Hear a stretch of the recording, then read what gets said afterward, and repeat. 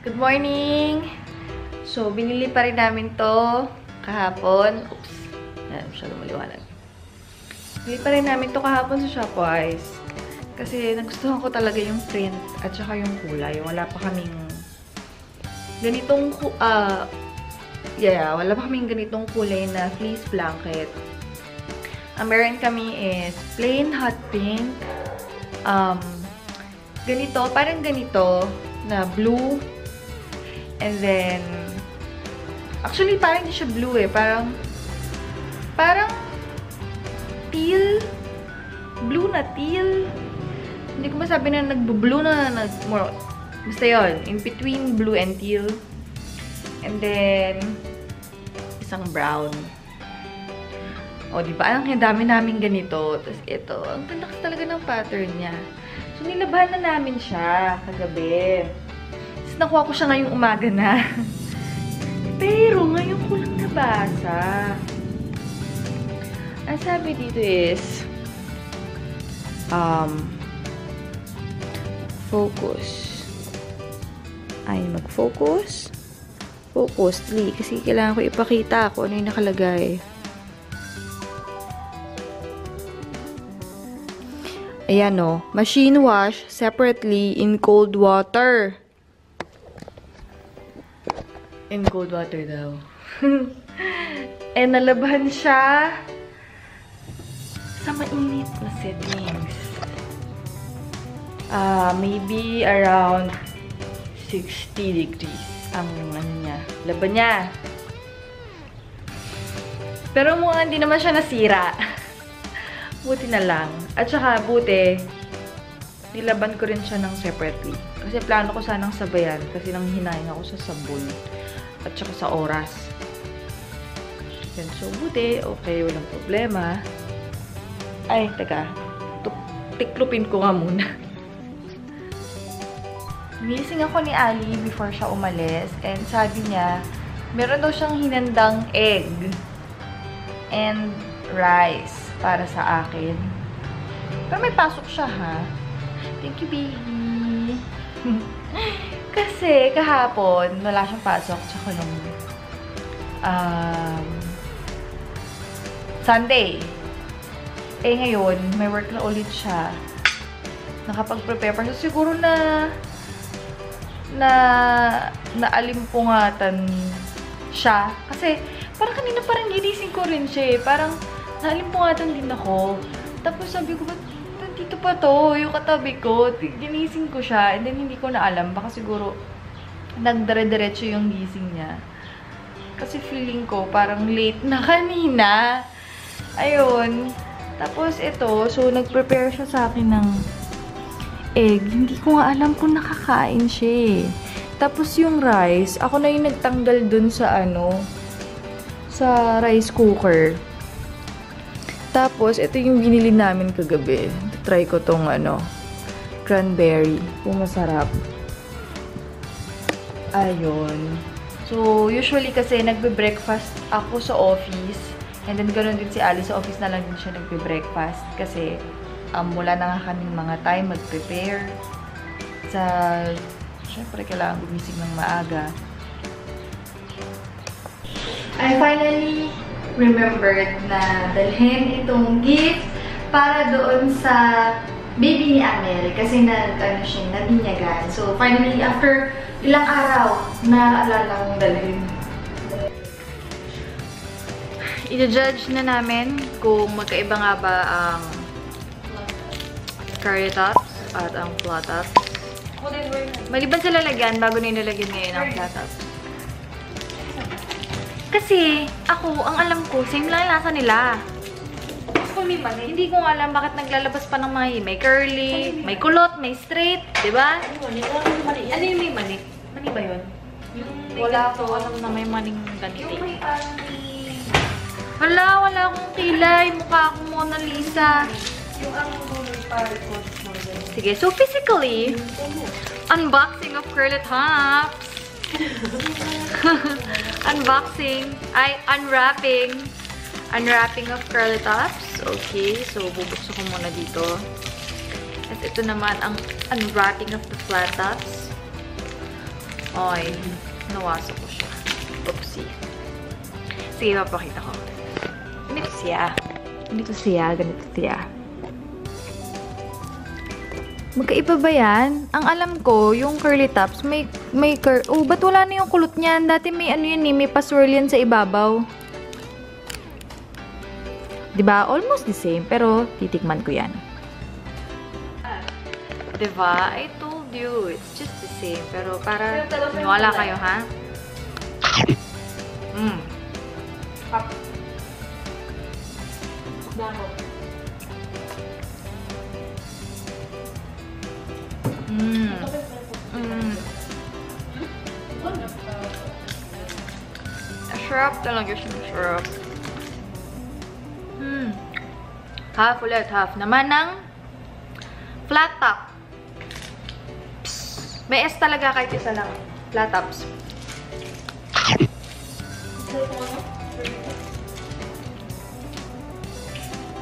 Lang. Same. Lang. No difference at all. Hindi ko na kaya kainin ng isang buo. Talaga? Anak ko yun. Oo, kaya ko. Pinilabutan ako nung nakita ko sa Basta ang gusto ko ng ganito, gusto ko yung ano, room temperature lang. Ayoko yung nilalagay sa ref. Ay, oo. Ang lumat ko. Ayoko ng matagas. Hindi mo ito tutunog, di ba? Nilagyan ko ng ganito sa ref, friend. Nag-try siya maglagay sa ref. Sa bigas. Siyempre, tatigo. Talaga? Para pico kasi hindi naman siya katulad ng ano ng chocolates na natutunaw. Wala, trip nga lang, nilagay niyo sa ref. ko hindi siya pipigas. Pero ko naman... Really gas yan? At mag-iiba rin yung lasa. Ano yung iba rin lasa niya? Konti. Ako kasi ganun, gusto ko yung room temp lang. Kasi tamang-tama yung lambot, yung tigas, yung flavor, kung kailan mo malalasahan. Pag kasi matigas siya, parang basta eh, parang nakaka-apekto sa lasa. Feeling ko ganun ha.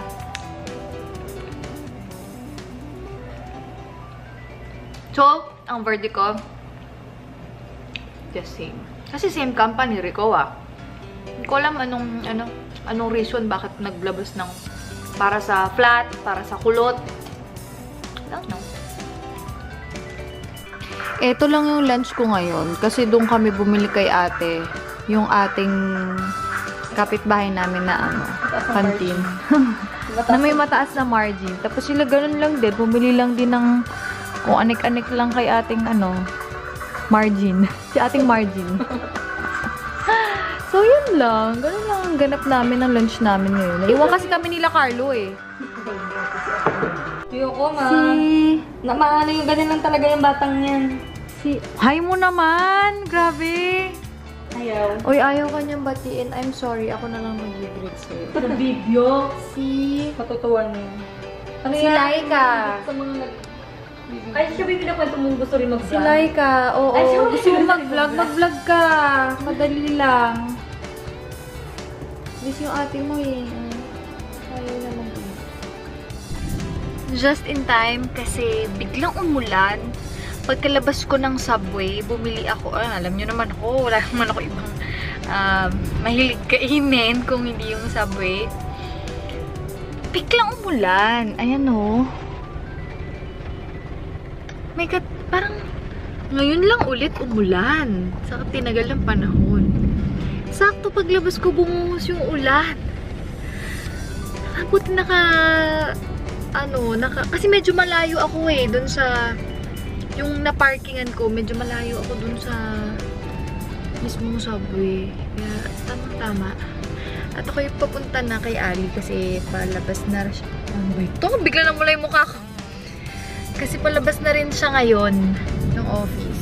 Excited na akong kainin ito. Gutom na ako. Actually, may dala daw na food si Ali eh. Pero, hindi ko na kasi kaya. In fairness, malakas yung ulan. As in, ah bumuhos talaga siya sa bandang ah, malapit na ako mag mag-exit ng tollgate. Sobrang buhos niya talaga. Ang lalaki ng patak.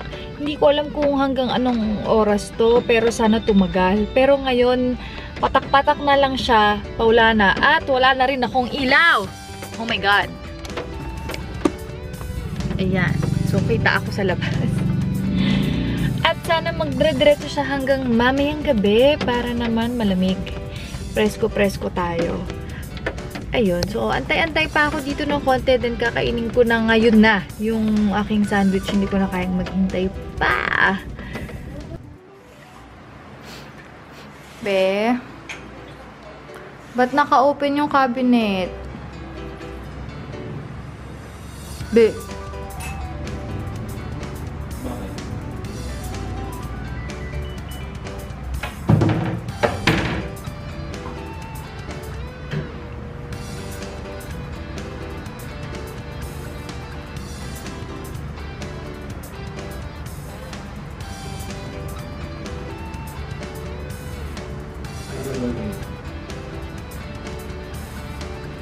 magpagupit. Yun yung gagawin mo. Yung buhok mo ang gulo, oh. Tsaka. Ay, be, ma-expire na to bukas. Ayaw ah, sabi ko na yun. Oh, ba't ayun ko? Gusto ko mag-rice. Galing lang ako. Hmm. Nilibisita ka ng mga langgam.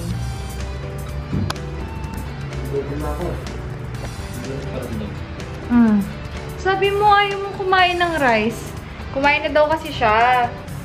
Tapos ako, di ba kumain na ako ng Subway. Pero dahil may inuwi siya na ano, ah, ano nga yun, adobo. Tapos yung may natirang rice, di ba kaninang umaga.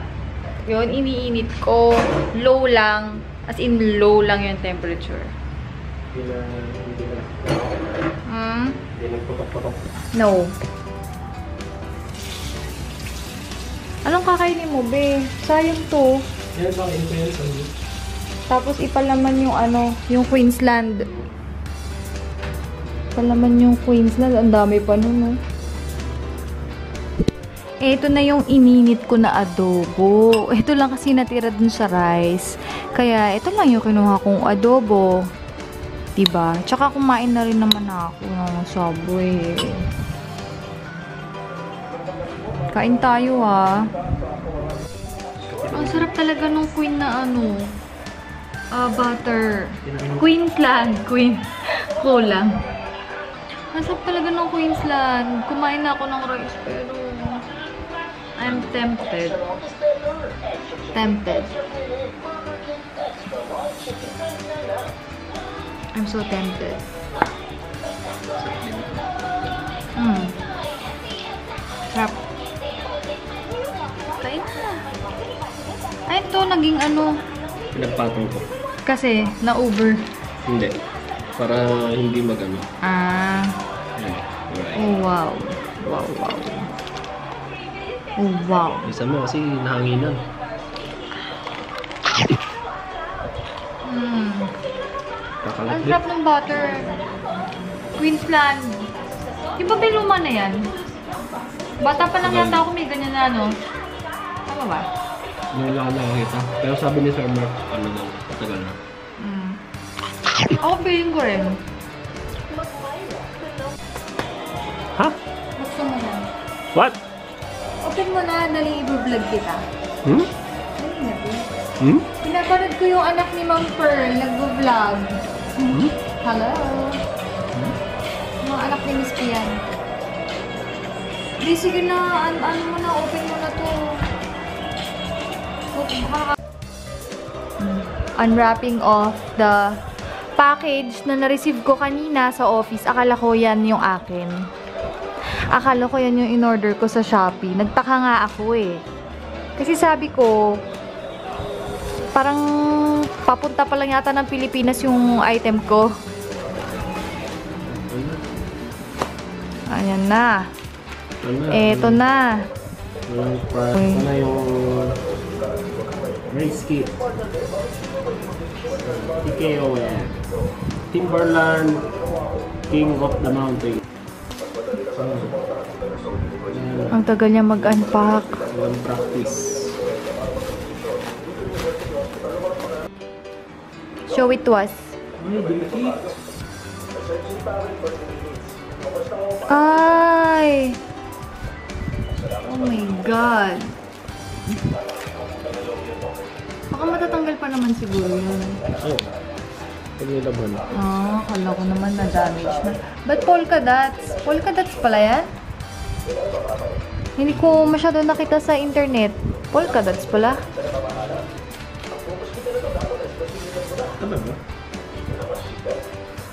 Parang napansin ko sa inyo. Oo nga. Yan ba yung likod? Harap? Yan ang harap, polka dots. Sana matanggal pa yung mga ano, mga nandyan sa bilog-bilog. So, hindi pwede sa ano, hindi pwedeng ipa-dry sa washing machine. Magdidikit-dikit. Aba, sige, testing na.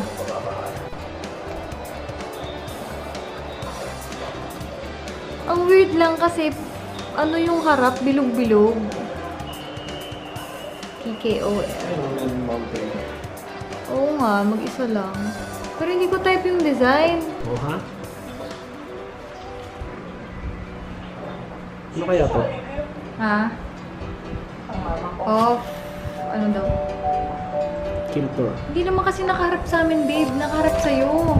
Ah, Oh my goodness.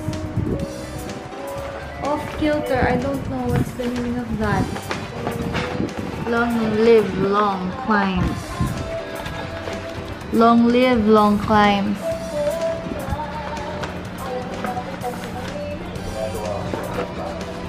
Are you done? Are you done, babe? Okay. Okay, magpapaalam na ako. Bukas na lang ulit. Bye!